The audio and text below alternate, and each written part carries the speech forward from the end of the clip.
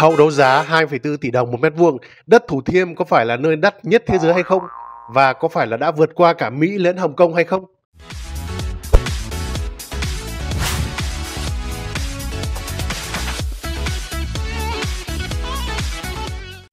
Vâng thưa các bạn, 4 lô đất đấu giá ngày 10 tháng 12 thu về 37.346 tỷ đồng, tức mỗi mét vuông căn hộ phải trả từ 1 tỷ đồng trở lên thì nhà đầu tư mới có lời. Ở mức 2,4 tỷ đồng một mét vuông, giá đất Thủ Thiêm hiện tại đã vượt qua cả Mỹ lẫn Hồng Kông. Mỗi căn hộ ở Thủ Thiêm sẽ gánh từ 35 cho đến 50 tỷ tiền đất. Cuộc đấu giá 4 lô đất vàng tại khu đô thị mới Thủ Thiêm, thành phố Thủ Đức ngày 10 tháng 12 đã kịch tính đến phút cuối khi các nhà đầu tư liên tục rượt đuổi nhau để sở hữu cho bằng được những lô đất vàng hiếm hoi còn sót lại của thành phố Hồ Chí Minh. Với giá trị 37.346 tỷ đồng thu về từ hơn 30.000 m2 đất, tính bình quân mỗi mét vuông đất ở đây có giá hơn 1,24 tỷ đồng. Theo quy hoạch được phê duyệt, chỉ tính riêng tiền đất, mỗi căn hộ ở 4 khu đất này phải gánh thấp nhất là 35 tỷ đồng trên một căn. Phiên đấu giá 4 lô đất tại Thủ Thiêm còn có sự tham gia của nhiều doanh nghiệp bất động sản máu mặt như Phát Đạt, Cát Tường, Bắc Thủ Thiêm, Công ty cổ phần vận tải thương mại quốc tế, Bất động sản Đồng Tiến, Công ty trách nhiệm hữu hạn đầu tư kinh doanh nhà gia định. Nhưng cuối cùng, bốn doanh nghiệp thắng đấu giá thì chỉ có một cái tên quen thuộc trong giới bất động sản là công ty trách nhiệm hữu hạn đầu tư bất động sản Ngôi sao Việt, thành viên của tập đoàn Tân Hoàng Minh. Còn lại ba doanh nghiệp còn lại là những doanh nghiệp hoàn toàn xa lạ. Ngôi sao Việt do đích thân chủ tịch Tân Hoàng Minh Đỗ Anh Dũng tham gia đấu giá đã kiên quyết sở hữu cho bằng được lô đất có diện tích lớn nhất lên đến 10.059,7 m2 với view hồ trung tâm thuộc khu chức năng số 3 trong khu đô thị mới Thủ Thiêm. Giá chúng đấu giá lô đất này là 24.500 tỷ đồng, tức cao gấp 8,3 lần so với giá khởi điểm là 2.942,2 tỷ đồng.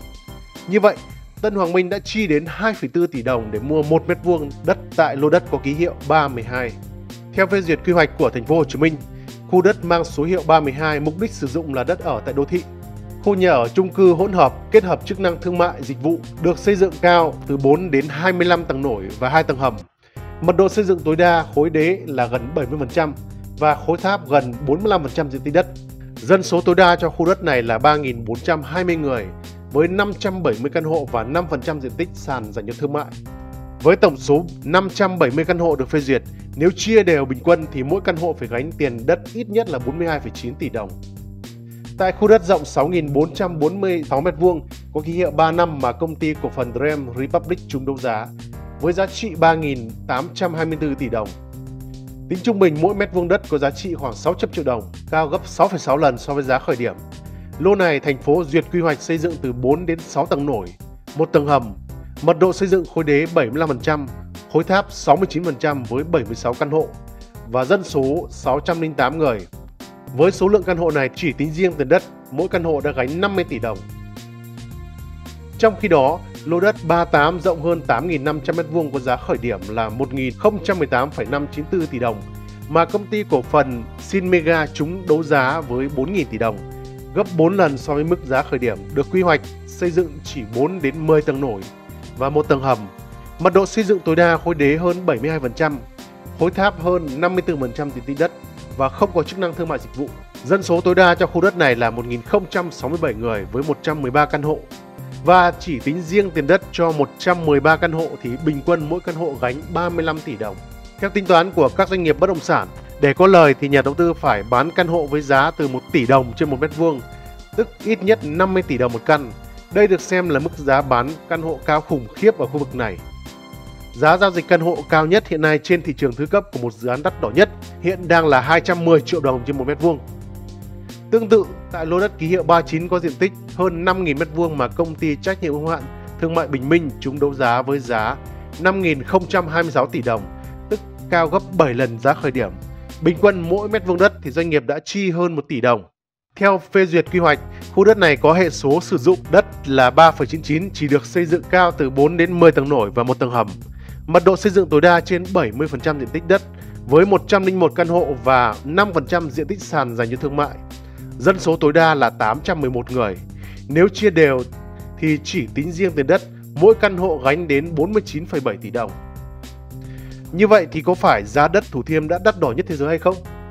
Theo một vị chuyên gia kinh tế cho rằng, với mức giá đắt đỏ của bất động sản tại đây, ông cảm thấy lo là hơn vui bởi giá đất đã vọt lên quá xa.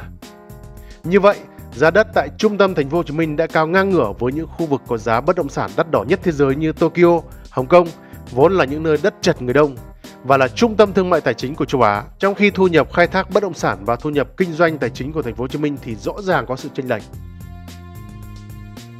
Trước khi cuộc đấu giá 4 lô đất ở Thủ Thiêm diễn ra, các nơi đất đắt đỏ nhất thế giới nếu chúng ta tính mức 1 triệu đô la mua được bao nhiêu mét vuông thì tại Monaco sẽ mua được 16 mét vuông, tại Hồng Kông sẽ mua được 22 mét vuông, New York là 25 mét vuông, London 28m2, Geneva 41m2, Paris 46m2, Sydney 48m2, Thượng Hải 54m2, Los Angeles 58m2 và Bắc Kinh 66m2. Trong khi nếu tính mức giá mà ngôi sao Việt trúng đấu giá ngày hôm qua, 1 triệu đô la tại thành phố Hồ Chí Minh chỉ mua được gần 10 mét vuông. Khu đô thị Thủ Thiêm có diện tích 657 ha nằm bên bờ sông Sài Gòn, giáp quận 1, được chia làm 8 khu chức năng với công năng riêng biệt. Trong đó, khu chức năng 3 và số 4 nơi có 4 lô đất vừa đấu giá thành công được quy hoạch là khu thương mại, dân cư đa chức năng và bố trí dọc tuyến đại lộ vòng cung. Các khu chức năng dân cư hỗn hợp với mật độ xây dựng thấp ở hai bờ sông. Công trình điểm nhấn tại khu chức năng số 3 là trường học và nhà bảo tàng. Công trình điểm nhấn tại khu chức năng số 4 là trường học, trung tâm sinh hoạt cộng đồng và cơ quan hành chính. Vâng thưa các bạn, trên đây là những chia sẻ của Bidoland về kết quả đấu giá nóng nhất trong ngày hôm nay về 4 lô đất vàng tại khu đô thị mới Thủ Thiêm. Còn bây giờ, Bidoland xin nói lời chào tạm biệt và hẹn gặp lại các bạn.